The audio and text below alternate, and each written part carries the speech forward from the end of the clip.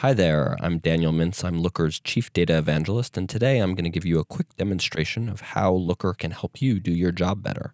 You know, Looker is a data platform, maybe unlike some of the analytic tools that you've used in the past, and that really lets Looker insert itself directly into your existing workflows to make it easier for you to do your job, for you to access the data that you need wherever you need it. So I'm actually going to start in my email rather than in Looker because that's a way that a lot of users actually use Looker. They schedule emails to send them the data that they need. So when I get in this morning, uh, you know, I'm the manager of a Philadelphia warehouse and I see that there are five orders that are delayed. I'm going to click here to view this data in Looker so that I can take some action on them and explore a little bit further. So this takes me right into Looker's interface.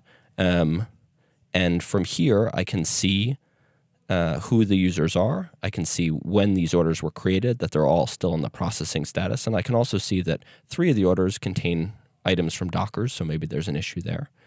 Um, I can navigate around in Looker because it's all in the browser, so I can use this to explore a little bit more about Eleanor. I'm going to go to her lookup dashboard and really dig into who she is. Um, so it turns out that Eleanor is in California. She's made 13 lifetime orders for almost $500, so she's quite a loyal customer, um, someone that we want to take good care of.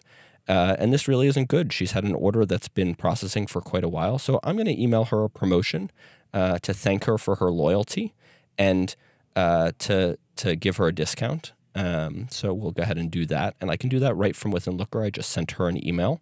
I'm going to jump back to the overall view and I see, you know, there's still a bunch more people. I want someone to deal with this. So I'm actually going to send a message to my colleagues in a Slack channel asking them to take a look at these orders and, you know, letting them know that I've already emailed Eleanor, but uh, I want them to handle this.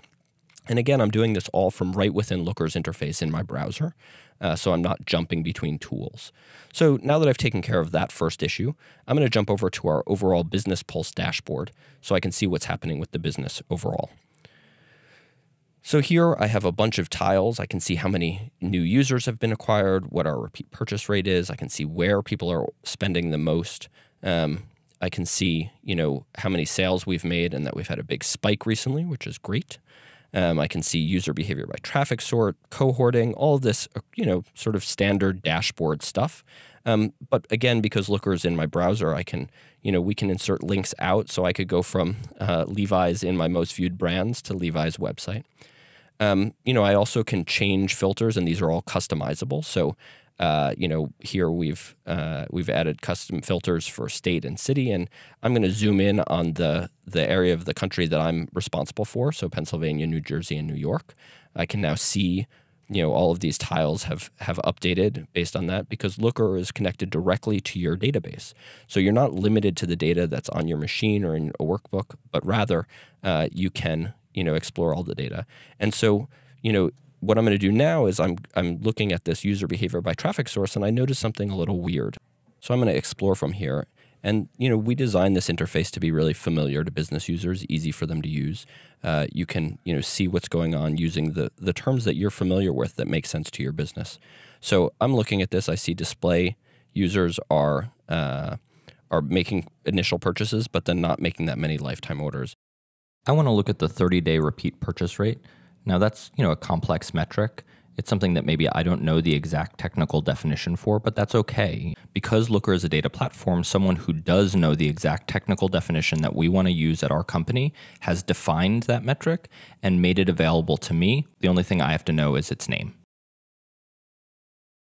Sure enough, they are much lower than users who are coming in from other sources. So I'm going to focus in on that uh, by removing these other fields that I'm not that interested in. And I'm actually going to filter down to the display users so that I can look just at them. And we see now that, you know, they're only 4.5% of them are making a second purchase within 30 days. That's not great. But now I want to see whether that's a new phenomenon. So I'm going to add this concept of a month uh, and I'm going to expand my window, which is really easy to do. I can just say, you know, I want to see the past 12 months rather than just the past 90 days. I run that and I see, sure enough, this is a new phenomenon, right? This is something that's changed dramatically over the last uh, few months. So maybe we change something about the way our ads are targeted. I'm going to check one more thing before I send it over to them uh, to see whether or not this is mostly men or women who are being affected, or, or maybe both. So I add gender. And if you're familiar with the concept of pivot tables in Excel, this will be really familiar to you. I'm going to pivot gender so that uh, men and women each get their own column, and then I can compare you know their 30 day repeat purchase rate and i see that they do differ quite a bit but both have actually dropped off a bunch in the last couple of months. So you know the nice part about looker being a data platform that's centralized is it makes it really easy to share insights. So i'm going to click the share link and that lets me pull a url just copy and paste it send it over to my ad guru. They're going to pop it into their browser and they're going to be taken right to the spot where I was, uh, where they can do some more exploring, or um, you know, or take action on this data. Uh, maybe take a look at whether the targeting has changed, what's changed about our our ads.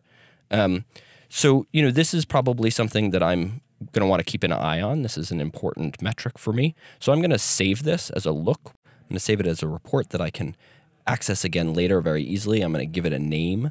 I'm going to call it repeat purchases uh, by display users, and that'll make it really easy to find in Looker in the future.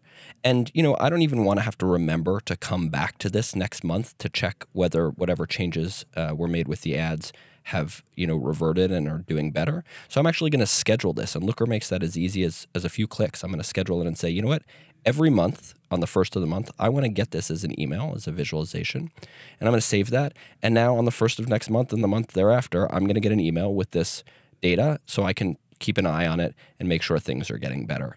You know, and that again is just really key to how Looker makes this easy.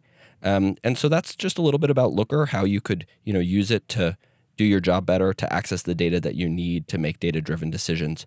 We hope that this has been helpful. We hope that you'll reach out to us and uh, we can show you what Looker could do for you, how it would work on your own data. Thanks.